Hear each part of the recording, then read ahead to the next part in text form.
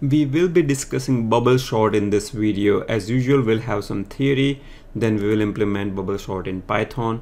And at the end, I have an interesting exercise for you to work on. So make sure you watch till the end. Why sorting is needed in first place? When you're developing big projects, such as let's say you are building a system for wireless store, where in your computer you might have so many transactions. Let's say you have 30,000 transactions and I want to sort this transaction by the amount. I want to know who bought the maximum amount of inventory from my store. Sometimes I might want to sort this uh, based on a name.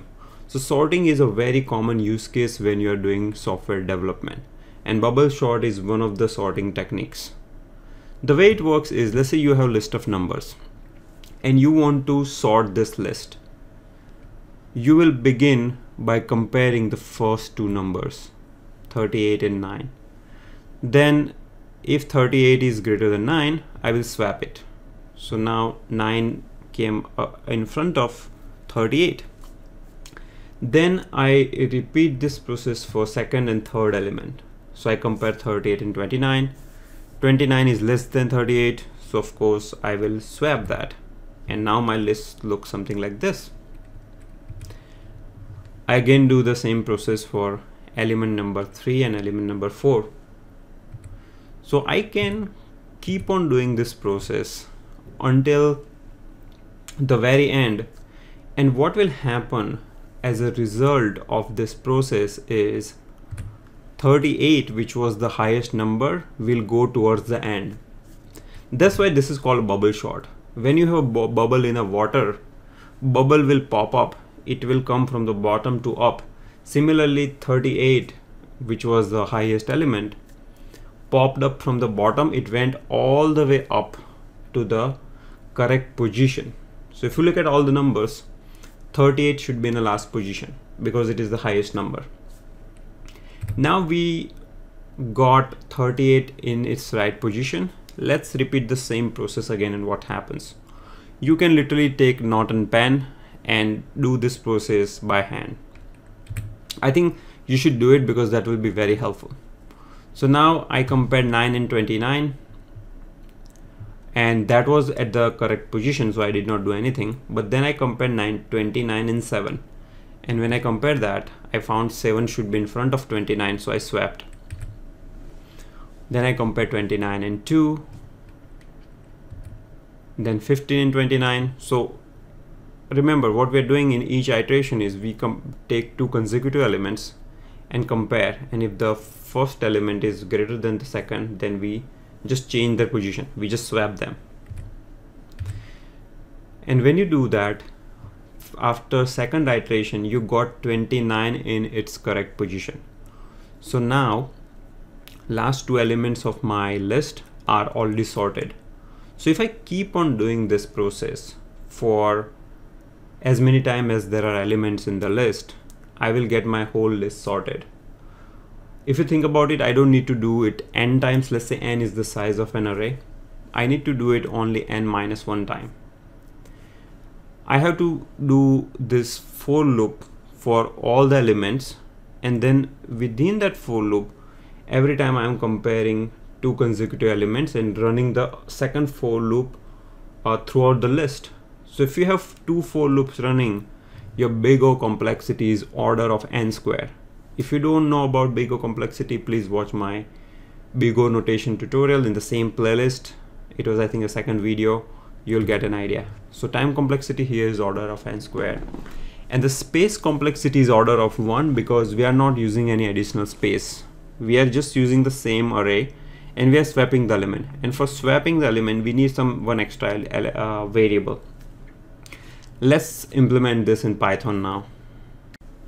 In my Python code, I have this element list, which I want to sort using bubble sort method. Right now method is empty and we are going to implement it as per the theory we saw in the presentation.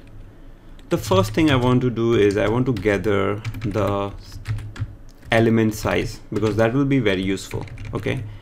And what we did, uh, if you think about the presentation that we had is we go through all the elements one by one and we compare consecutive elements like this to first then this two then this two and so on. So how can you do that? Well you can just say for i in range size minus one. Because you want to go all the way till here only because after you compare 88 and 34 there is no element after 34 hence I have minus 1 here. And you want to compare two consecutive elements. So let's compare them. So the first element would be what? I okay? And you want to compare that with the second element. So if i is greater than i plus i plus 1 okay? Then you want to swap them swap swap meaning change their position. So how do you do that? Standard ways you can take a temporary variable store elements there because I want to do this elements i is equal to elements i plus 1 and then elements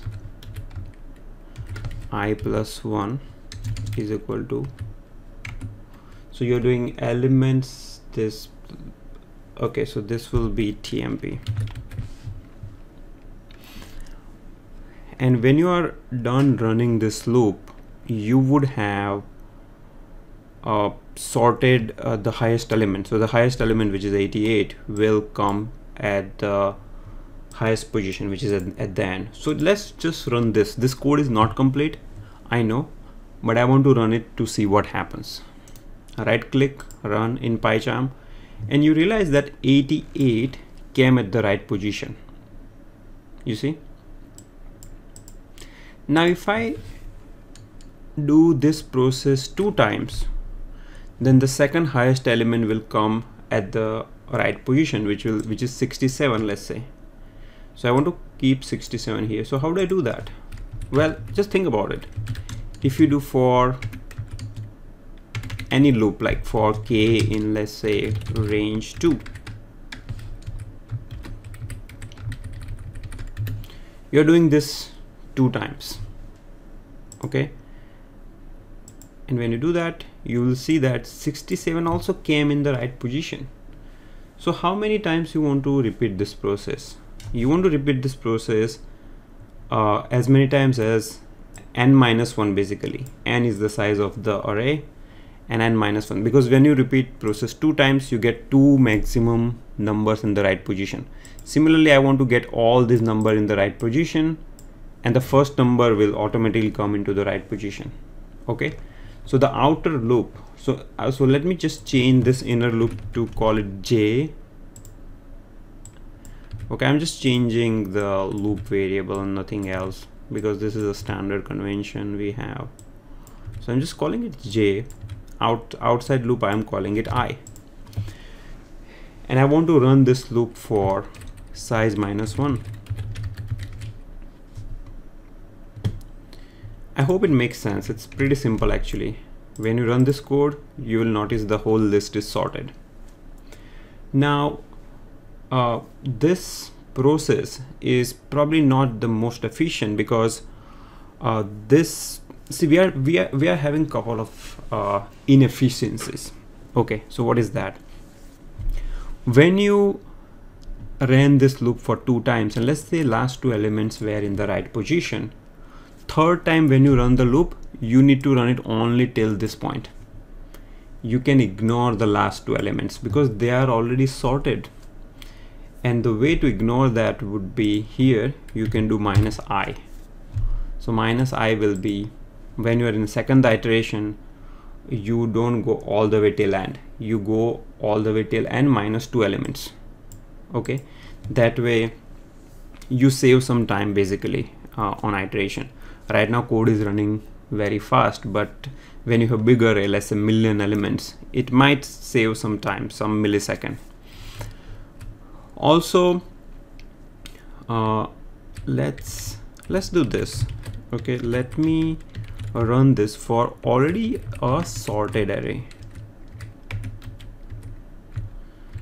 So let's say this array is already sorted. And when I run it of course it's gonna remain sorted. But what will happen is I set a break breakpoint here right click debug okay? And when I go to next point see it keeps on repeating this loop although the array is sorted. Is there a way to detect that array is sorted? Yes there is a way. Think about it. In your inner loop let's say if you go through the entire list and if you don't end up swapping any element it means your array is sorted so here we can create a variable called swapped which is false. And whenever you are swapping you just say swap is equal to true. And what will do it you will do is your inner loop after completing if it has not swapped uh, an element the swap flag will be false. Okay so you can say if not swapped break. Now you can break the outer loop okay? And this will make your algorithm more efficient. We can verify it. So if I debug here and if I go here see outer loop I am in a, my first iteration okay? Inner loop see in my outer loop I just did one iteration and I'm I'm done now so the complexity of this will be order of n. It is not order of n square because you went through the list only one time. If you don't have this code let's say I don't have this code here okay? Without this code what what was happening you might have realized it. You start with the outer loop the first iteration. Then you go through all the elements now see you are in a second iteration. This is not needed. Then you go through all the element you go to third iteration. So all of that was not needed and this can be made efficient by using this uh, swap flag. By the way you can use this sorting algorithm to sort the strings too. For example I have this list of string and when I call bubble sort on top of it when I run it you see these are alphabetically sorted now a comes first then C then D and so on. This is because in Python you can use this greater than operator on strings. You can quickly verify it. If you say a is greater than b it returns false. But if you say a is less than b it returns true. Similarly it does the comparison for the whole string as well. For example you have abc and you have adx it will return true. All right so that's all i had for uh, bubble sort and now comes the most interesting part of this tutorial which is an exercise. You cannot learn things unless you practice on your own and you uh, do this exercise. So i have this interesting exercise for you where i have the transaction records of electronic store. And i want you to modify my bubble sort function to take a key argument where I can specify a key inside my dictionary. And using that key it should do sorting. For example if I say my key is transaction amount then it has sorted all these records by transaction amount. You can see 200 400 800,000 if I say key is equal to name it will sort them using the names. The solution is actually simple.